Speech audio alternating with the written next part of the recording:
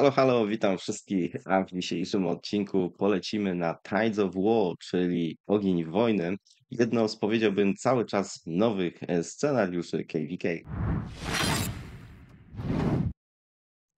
Z tej strony Snow i nadszedł już czas, żeby polecieć na KVK, w końcu KVK. Tym względem się cieszę e, ze wszystkimi e, jakby plusami, minusami, z którymi się to ciągnie, które tam zależą od mojego konta, ale polecimy i zobaczymy, jak to wszystko będzie wyglądało. E, Także mamy tutaj opcję teleportacji. Najpierw e, polećmy właśnie e, i zobaczmy, jak to tutaj wszystko wygląda. A widzicie, że wybiło mnie gdzieś tutaj na w sumie niefajne miejsce. Gdybym się gdzieś fajnie teleportował, to może bym tego użył, ale widzę, że już mamy swoje terytorium. No to dobra, skorzystam z tego i się tutaj teleportuję. Na razie nic nie będę budował, Ech, bo chciałem po prostu się tutaj rozgościć, zobaczyć, jak to wszystko tutaj wygląda. E, Także pierwsze wrażenia, jak widzicie, ech, pozostałe królestwa już budują. Niektórzy budują naprawdę bardzo szybko. My tutaj na spokojnie, powolutku, tego można było się spodziewać e, po naszej aktywności. Nie wiem szczerze, jak wygląda rozłożenie tutaj naszego terytorium i mało mnie to interesuje. Nie będę tutaj na ten temat się wypowiadał, nie wiem z kim będziemy walczyć. Znaczy przeciwnikami nami, naszymi na pewno jest woda i na pewno naszymi przeciwnikami jest ziemia, czyli jakby nie było z każdej strony mamy wrogów. E, Zobaczymy, czy uda się zdobyć jakąś strefę, czy raczej będziemy tutaj czekali do otwarcia e, tej strefy szóstej. Zobaczymy, może być ciekawie. E, Także ja tutaj na pewno będę takim trochę bardziej obserwatorem. Naszym sojusznikiem na pewno jest tutaj ogień, który też wydaje się przynajmniej być dosyć mocny, e, ale właśnie to za chwilę sobie e, zobaczymy. W sumie jak już jestem przy tym terytorium, e, to zobaczmy sobie jak wyglądają rankingi. One pewnie będą niepewne, niepełne, przepraszam, pewnie niepewne. E, One będą niepełne z tego względu, że e, wiecie, że nie wszyscy się jeszcze teleportowali na KVK, więc zobaczymy jak to wygląda. Okej, co najpierw zobaczymy? Siła sojuszu to jest w sumie mało ważne. Jesteśmy tutaj na 13 miejscu. Te królestwa, które są 17.05 jest z nami na pewno, a pozostałych nie znam, ale siła sojuszu to szczerze miło, y, nie jest takie ważne. Ciekawe, siła indywidualna, jaka jest największa, 176 milionów.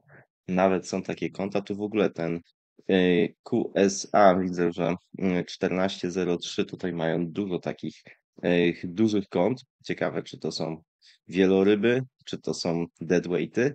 Chyba jednak tak trochę, no nie mają jakichś niesamowitych liczb, bym powiedział, ten co ma najwięcej. No ten to ma 9 miliardów kill pointsów, to niech będzie, że wieloryb bardziej niż, e, niż deadweight. E, Okej, teraz najważniejsze, czyli zabici przez sojusz. My tutaj jesteśmy, jak widzicie, na miejscu czwartym, także no nieźle. To powinno nam zagwarantować, że może nas tym razem nie będą wyzerować, zerować w naszym kampie, no to wiecie, to jest po sześć królestw w każdym kampie. Co ciekawe, pierwsze miejsce w sumie to oni są z nami, 17.05. Mówiłem, że to jest dobre królestwo i rzeczywiście tak jest. 2.017, nie wiem skąd oni są i w jakiej oni są koalicji, czy są przeciwko nam, a widzę, że tutaj księżyc mają, więc y, nie ma żartów z nimi. QSA, tutaj nie widzę żadnych gwiazdek, ale to są właśnie to, co mówiłem wam, że tutaj są te dużo tych takich mocnych kont. Teraz zobaczymy, gdzie oni się to znajdują. E, Te QSA szukamy i UB17. Ciężko tutaj zapamiętać. Ech, okej, QSA jest tutaj w ziemi, więc z nimi będziemy walczyć. Nie wiem, czy to nie jest to królestwo, które sobie dobrze radziło. Ech, tu jest to IC.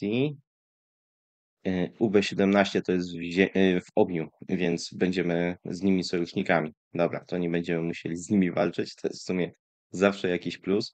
Okej, wróćmy się do tych rankingów. Okej, UB17, czyli to są nasi sojusznicy, z nimi nie walczymy. QSA, e, tak jak widziałem wcześniej, to są z ziemi goście. No i później już poniżej e, 100 miliardów tych kill pointsów mamy drużyny. Pewnie będzie ich dużo, no bo tutaj wiecie, te 24 główne to jakby są główne królestwa, no ale widzicie, że niektórych numery, jeśli chodzi o sojusz, e, no są po prostu słabe. Okej, dobra. E, Popatrzmy sobie teraz na zabitych. Kto tu jest największy? O, mamy GS87, też nie wiem co to jest za obóz w ogóle, ale 16 miliardów, no to numery są porządne. I tu mamy dwóch takich graczy, ale nie z tego samego sojuszu. W ogóle nie wiem skąd oni się tutaj wzięli, szczerze powiedziawszy. 17.05 to wiem, że to są nasi sojusznicy. Ja jestem na 14 miejscu, a wiecie, na początku jak patrzyłem, to nie widziałem w ogóle tych takich dużych, y, dużo lepszych kont, a teraz widzę. E, Także miałem nadzieję, że będę w pierwszej dziesiątce, ale jednak nie. Jednak nie będzie to tak łatwo. W sumie nie ma to większego znaczenia, bo ja tu i tak jakoś wielce zawalczyć nie mogę. Okej, 2017. A to jest są UB17, to są ci, którzy e, są w ogniu. 2787. Nie mam pojęcia, co to jest za królestwo. GS87. E, Spróbujmy, gdzie jest ten największy zawodnik. E, Przynajmniej pod względem killpointsów. GS87. Tutaj go nie ma. Tutaj też nie widzę takiego czegoś. Może tu? GS87 tutaj jest. Ok, czyli tutaj będzie e, w obozie naszych przeciwników. Oni tutaj też widzę, że mają gangsters, jakieś trzy gwiazdy, więc e, będzie to pewnie jakieś dobre królestwo, z którym przyjdzie nam zawalczyć. No zobaczymy, jak to wszystko będzie wyglądać. Tutaj budujemy jakąś flagę, ale chyba nam się specjalnie nie śpieszy z tego, co widać. Oj, nawet chyba pierwszy bastion będziemy mieli. Nie, to jest ten e, obóz bojowników. Dobra, nie wiem, dlaczego nie przy bastionie. Ale widzę, że będziemy budować w kierunku tego bastionu. Na razie żadnego nie ma, ale to jest w sumie nie ma takiego znaczenia. No tak to wygląda, jeśli chodzi o rankingi, jeśli kogoś interesowało.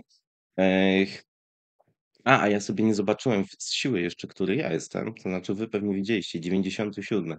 No to spoko. 97 do 14 to jest wszystko jeszcze ok. E, No i cóż, oczywiście no jest to zwyczajne KVK. Wszystko, co e, w zwyczajnym KVK jest, to się tutaj też pojawia. E, Różne rzeczy do zainwestowania i tak dalej. O, muszę sobie tutaj odebrać moje klejnoty. Dobra. I co? No ale co ciekawe, to mamy tutaj właśnie, e, fajnie, że właśnie nowy scenariusz, bo będą nowe rzeczy. No i widzimy, że mamy tutaj te fale. No i w tych falach będziemy mieli te dyrektywy różne. Okej, przy zabijaniu barbarzyńców eliksiry, eliksiry uzdrawiające, super. E, ciężko rannych jednostek w szpitalach i są dostępne do zakończenia sezonu. Super, to jest, wiecie, rzeczy do leczenia mi się bardzo przydadzą, bo ja nie mam nic do leczenia, więc na pewno będę używał tego, mm, żeby móc po prostu leczyć te swoje jednostki.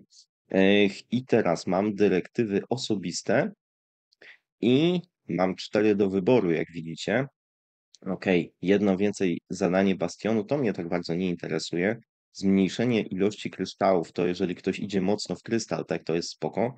Zwiększa maksymalną liczbę uzdrawiających, eliksirów uzdrawiających każdego dnia o 500 tysięcy. Spoko, to chyba by mi się przydało, bo, yy, bo ja te eliksiry będę potrzebował na potęgę. Zwiększa liczbę pewnych przedmiotów dających surowce. Nie, surowce mi są niepotrzebne. To ja sobie wybiorę to. Okej, nie wiem, czy później mogę zmienić. Chyba nie, ale dobra, wydaje mi się, że to w miarę oczywiste, że będę wybierał tego. Yy, Potrzebuję eliksirów, także spoko. Już mam wybraną e, dyrektywę pierwszą. A dyrektywa sojuszu. Okej, niszczy forty. E, Co tutaj mamy?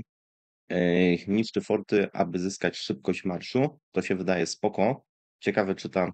E, Za każdym razem, gdy członek sojuszu przyczynia się do zniszczenia fortu, wszystkie jego oddziały zyskują 0,2% do szybkości marszu do 5% na falę.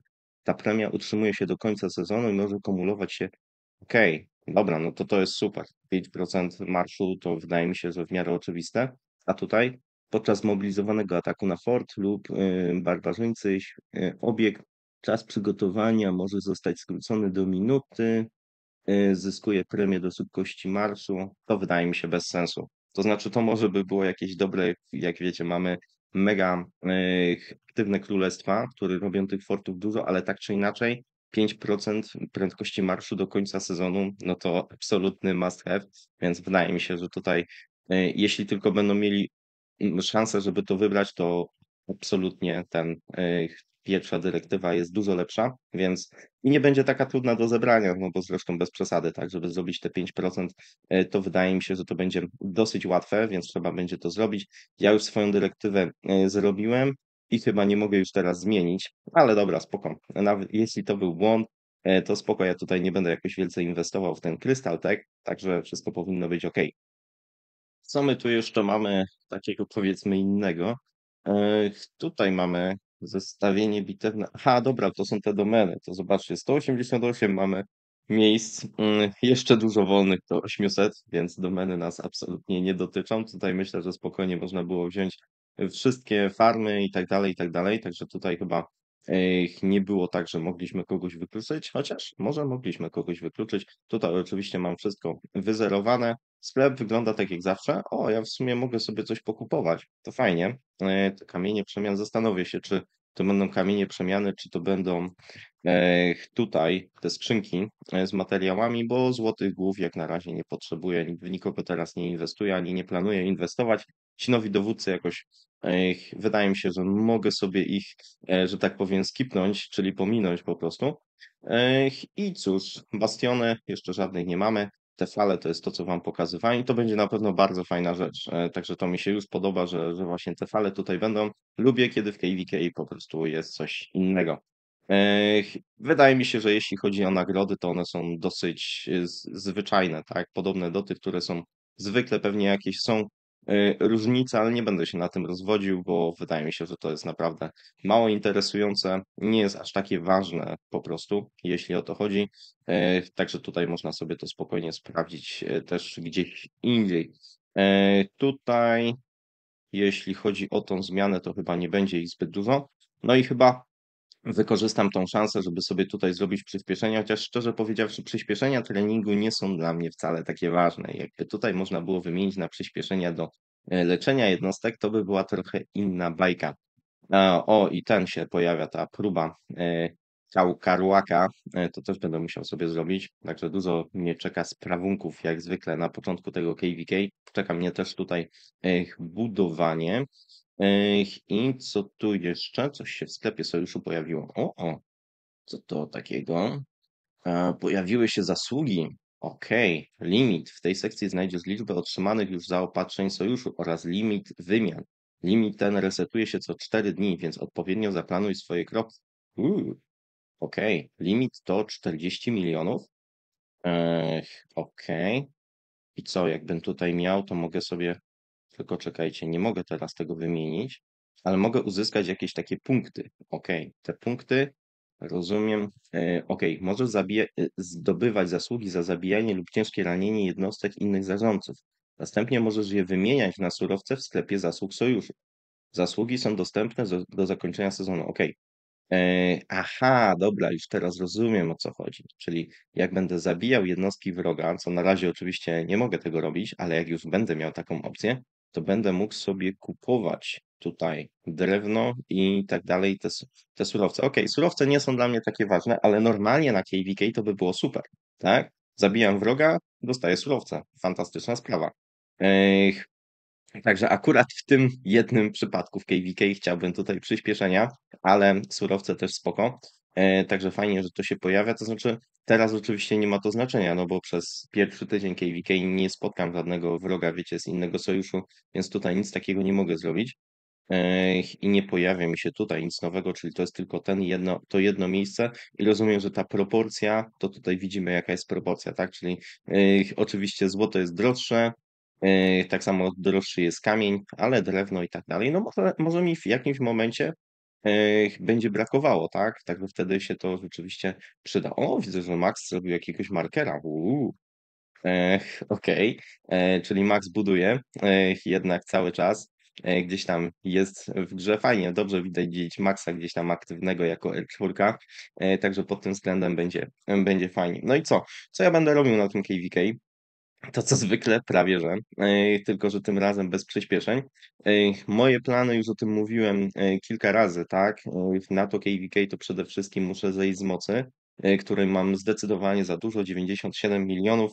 Wiecie, kiedyś w ogóle udało mi się, bo tego wam w sumie nie pokazywałem, ale przez chwilę, czekajcie, gdzie jest ta moja informacja? Przez chwilę miałem ponad 100 milionów siły, tak? Później zabijałem swoje jednostki i pewnie już nigdy nie wrócę do tych 100 milionów, ale przez chwilę miałem, mogę się tym pochwalić, że byłem przez chwilę w tym klubie. Natomiast 97 milionów to jak na mnie to jest zbyt dużo. Ja na pewno do migracji będę chciał dużo zejść z siły, wiecie, bo to chodzi później o wymagania, a ja tych wymagań póki co nie jestem w stanie zrobić, no bo tak jak już wam mówiłem kilka razy, nie mam po prostu przyspieszeń, nie mam czym walczyć. E, a jak się nie ma przyspieszeń, no to się nie robi tych kill pointsów. Jak się nie robi kill pointsów, to się jest później, wiecie, wyzerowanym w swoim królestwie. Więc nawet nie jest tak najgorzej z surowcami teraz. E, Z surowcami się czuję całkiem komfortowo. Natomiast czuję się bardzo niekomfortowo, jeśli chodzi o przyspieszenia, których muszę sobie po pierwsze nazbierać.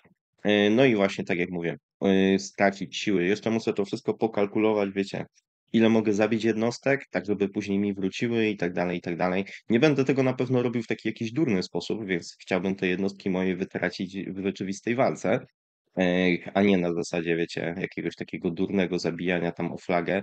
E, Chociaż mógłbym w sumie z tego zdobyć znowu przyspieszenia do treningu, ale, ale raczej chyba tego nie będę robił w ten sposób. Na pewno nie planuję tutaj trenować, więc jeżeli będę miał te mm, bastiony, gdzie będzie trzeba trenować, a akurat nie będę miał wytrenowanych już jednostek, to raczej nie będę tego w ogóle robił, więc na bastionach tutaj się w ogóle nie skupię. E, Podejrzewam, że wykupię sobie te pop-upy, bo w nich jest też, wiecie, w nich jest sporo klejnotów, raz, w nich jest też sporo przyspieszeń, to jest dwa, a przyspieszenia teraz są dla mnie bardzo ważne, więc e, głównie z tych względów będę tutaj, e, będę tutaj w te rzeczy inwestował. No i cóż, zobaczymy. Tak jak już też mówiłem, planuję sobie walczyć na dwa marsze, więc e, jeśli chodzi o tą technologię, a teraz wam nie mogę pokazać technologii, bo muszę najpierw wybudować sobie te budyneczki. Okej. Pół godziny trwa coś takiego? Okej, myślałem, że to się szybciej buduje na pierwszym poziomie. A to godzina 30. Wow. Dobra. Okej. Jeszcze jakieś tam przyspieszenia mamy. Yy, to znaczy mam. Także pokażę Wam tą technologię, jak wygląda. Yy, tutaj podejrzewam, że moim głównym celem będzie formacja atakująca, ponieważ ona pomoże moim łucznikom, ona też pomoże moim atakom oblężniczym, a na tą walkę w pierwszej strefie i tak nie zrobię nic jakiegoś takiego, wiecie, wow, wow. Yy, Więc tutaj dla mnie to nie będzie takie ważne. Yy, Mógłbym też iść mocno ekonomicznie, yy, żeby zbierać kryształy. To też nie jest w sumie wcale taki głupi pomysł, żeby zbierać, wiecie, kryształy i później mieć ich dużo na następne KVK. Może to jest też opcja, którą powinienem pójść. Na pewno już yy, jakoś tak bardzo się nie będę skupiał do walki, tym bardziej jakieś tam mobilizacje i tak dalej. Raczej nie będę tutaj yy, wielce liderował, chociaż może się zdarzyć, nie? No bo jednak yy, ci łucznicy moi są dosyć mocni, więc może, może ich tam czasem wykorzystam ale jakoś, jakoś się nie będę na pewno skupiał, szczególnie już później w tej, w tej drugiej fazie, żeby ta moja technologia KVK będzie była jakaś mega mocna. Na pewno będę miał nadzieję na to, że jakąś strefę piątą uda nam się przejąć. Później wiadomo, w strefie szóstej też będziemy mieli e, kręgi i tak dalej. No i jeżeli wszystko by poszło pięknie e, i się udał Zigurat i tak dalej, to w ogóle będę miał fajnie e, z kryształami na następne KVK, więc tutaj chcę się przygotować a na pewno będę tracił na tym, że nie będę robił tych questów bastionowych na trenowanie, no bo one jednak też dają, po pierwsze, że dają bardzo dobre kryształy, przepraszam, a po drugie one też dają tych, wiecie, kacharów, tak? A z kacharów też jest tych kryształów sporo, więc tutaj na pewno moja technologia trochę ucierpi, ale wiecie, z takiego zwykłego grindu można też uzbierać dużo tych kryształów, które będą na później na KVK, więc myślę, że od pewnego momentu będę już szedł właśnie bardzo w taką stronę ekonomiczną, żeby jak najbie, najwięcej y, po prostu sobie tych kryształów zbierać. To się jeszcze muszę zastanowić. Y, Ja jestem tutaj jak najbardziej wyluzowany, bo tak jak mówię, tutaj jest kwestia y, głównie przyspieszeń y, i to nawet nie jest tak, że mogę sobie wykorzystać wszystkie te, które tutaj mam, tylko oczywiście muszę jeszcze myśleć o następnym KVK, gdzie już będę, wiecie, najprawdopodobniej, znaczy na 100% praktycznie na innym królestwie, no i tam też będę się chciał jakoś fajnie pokazać. Poza tym, jeszcze jedna rzecz, która się zastanawiam, to żeby może sobie przejść do tego królestwa. No, tą nazwę mają taką, mhm, dobra, nie, widać, że są bardzo dojrzali. No ale dobra, różnie bywa. Tak czy inaczej, zastanawiam się maś- właśnie może, żeby przejść do tego sobie e, do tego sojuszu, do tego królestwa i tam sobie po prostu być, żeby w końcu opuścić te 7-1 już na dobre, ale zastanowię się, czy rzeczywiście w ogóle będę to robił. Bo tak czy inaczej jesteśmy jakby w najlepszej koalicji, która jest w naszym obozie, e, więc tutaj jestem bezpieczniejszy. Mam nadzieję, że mnie tak szybko nikt nie wyrzuci z obozu, e, z sojuszu. Więc, więc w sumie ta ich nazwa też mnie tak trochę odstrasza, że tam może nie wszyscy są super zrównoważeni. e, ale różnie to bywa, nie? Niekiedy nazwa sobie, a, a jednak leadership jest całkiem spoko, także może spróbuję poznać tych ludzi.